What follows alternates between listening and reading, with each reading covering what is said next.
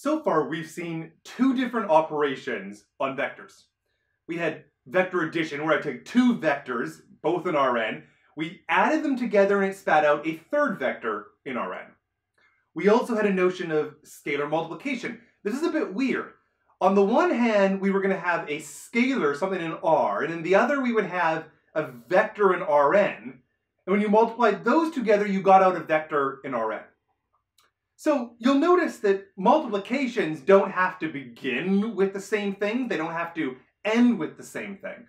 But neither of those was really a notion of one vector multiplied to another vector. So I'm going to give a candidate for such a notion, something that we're going to call either the dot product or the inner product or the scalar product. These words are going to be used interchangeably, but what it means is you take two vectors and you're going to combine them in the following way. I'm going to begin with a vector x. I'm going to write a dot here. That's where the dot product comes from. Not just juxtaposition of putting them beside each other. I'm going to write a dot there. And then I'm going to come and put the vector y. And this is defined to be equal the following thing. I use the colon to show that the thing on the left is being defined by the thing on the right. What I do is I take the first component of x and the first component of y and I multiply them. So this is x1, y1, where those are the two first components. And then I do the same thing to the second components and all the way down the line until I take the nth component of x and I multiply it to the nth component of y. And this is the definition of my dot product. Now I want you to note that the x and the y that I have here, these two things, that that they're both living inside of Rn. This is vectors in Rn. But what I have on the right-hand side, this is just the sums and the products of numbers. That is, this is just some number, or in other words, it is an element not of Rn, but only of R. So the dot product takes two things that are going to be in Rn and spits out something in R. Now, I could have defined all sorts of bizarre other types of multiplication. Perhaps I would define one that put a square here and a cube there. But if I'm going to be defining a multiplication, it should be use useful to us. There should be a point to it. There should be a geometric analog of this algebraic definition. So I can't just write down this definition and, and leave you with it. I have to argue that it's valuable in some sense. Now, before I do that, I want to just quickly note a couple algebraic properties. So the first property that this thing satisfies algebraically is that if I take the dot product x dot y, which we've, we've seen how that's going to be defined, that I can take any one of these and I can rearrange it the other way around. So, for example, I could rearrange it and write it as y1, x1, because it's just going to be multiplication of numbers, and multiplication of numbers commutes. And so then I can do the same thing all the way along, and I can write it as yn, xn, and finally I can say that this is just the vector y dotted with the vector x. So in other words, I can commute my dot product, or I can change the order in which it's written. The dot product also is going to play nicely with vector addition.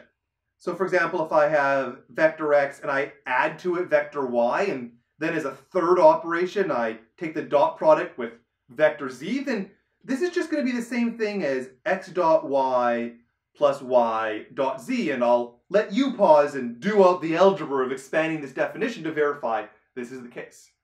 And there's more, but the point is that this algebraic operation obeys a lot of nice algebraic rules that allow you to manipulate it basically the exact same way that you do with numbers, even though it isn't just the multiplication of numbers. All right, so those are a few algebraic things. Now to the geometric. The first thing I want to do is I want to imagine that we're just living in two different dimensions. All right? And that what I'm going to have is some vector. This is the vector x, and I could do a sort of vertical projection down here, and I would say the first component is the x1, and the second component, that's going to be the x2. Now suppose I wanted to know the length of this vector x. In other words, I wanted to know what the length of that vector x was going to be. And I, I typically are just going to denote this by putting double bars around it, kind of like an absolute value, but, but double thick. So then what I'm going to do is say that this is a Pythagorean triangle. It's a right triangle. There's a 90 degree down here. So I can take this length that I'm trying to compute, and by Pythagoras, I can say that the square of it is just going to be equal to the x1 squared plus the x2 squared, and, and that this is true by Pythagoras. But then if I look at this x1 squared plus x2 squared formula, that this is just the same thing as the vector x dotted with the vector x. Again, indeed, if it's a vector, a dot product of itself, the first two components are the same thing, so it's just x1 squared. And then the second two components are the same thing, so it's just x2 squared. So in two dimensions, we can use a notion of length to be this dot product between the two vectors, or at least the square root of the dot product between these two vectors. If I wanted to get rid of the square there, I'd have to put a square root in and a square root. So what I am going to suggest is that if I want to know what the notion of the length of a vector is, not in R2, but in Rn, what, what is our notion of the length of an n-dimensional vector? I am going to define it to be precisely the higher dimensional analog of what we have here. That is, and note this is a definition, I am not claiming length is equal to this where I previously understand length. I'm going to define it, the length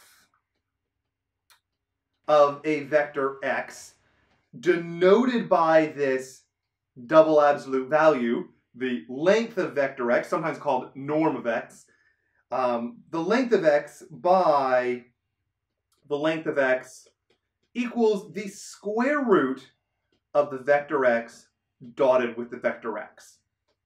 So I've taken a two-dimensional property and I've generalized it to the higher dimensions.